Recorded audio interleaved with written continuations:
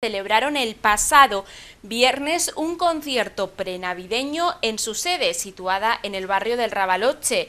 Los usuarios del CEAM de Orihuela inauguraron también el tradicional Belén que cada año instalan para celebrar estas emotivas fiestas.